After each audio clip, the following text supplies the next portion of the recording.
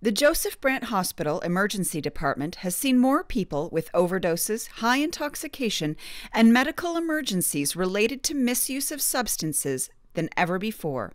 Who are we seeing? What is the demographic like?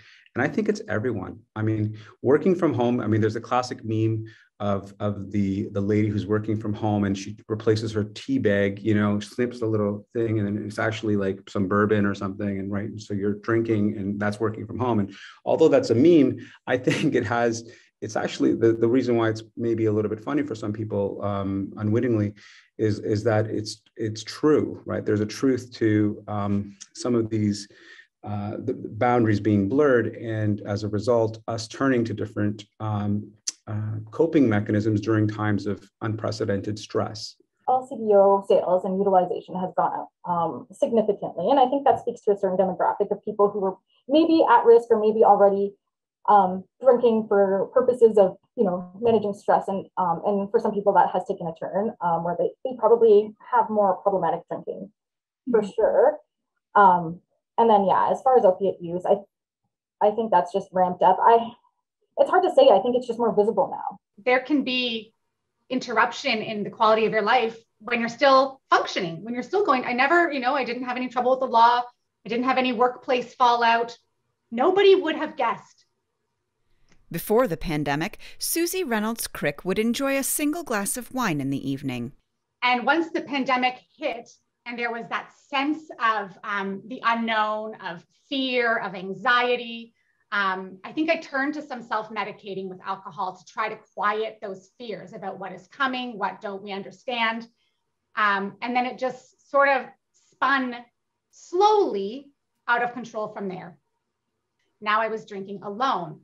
And then it got to a point where by 2 p.m., I started thinking about wine. I started wishing away my afternoons.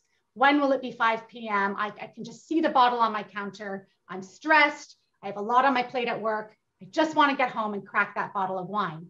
And that's when it began starting to feel more like a crutch, a dependence, something that I no longer wanted, but felt that I needed.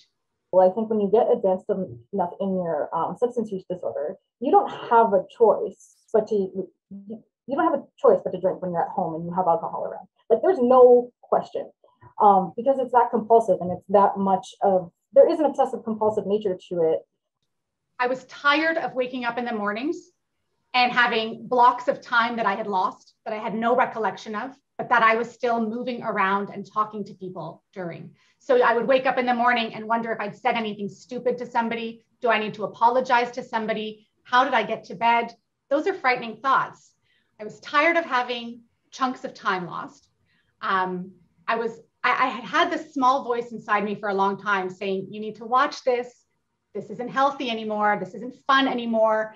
And I had silenced that little voice with more wine until it just got to a point where I didn't have a choice anymore but to really reckon with her and come face to face with the fact that I was drinking more than I had ever intended, more than I had ever set out to.